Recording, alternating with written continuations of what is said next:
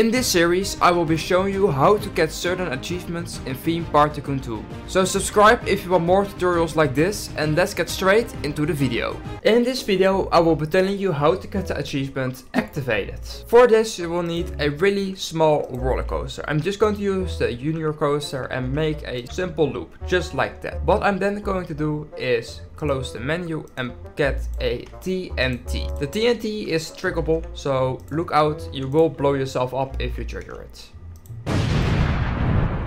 When you click on the junior ride and you go to appearance and you scroll a little bit down you see triggers on current piece. Well of course we want it to be on the first corner piece.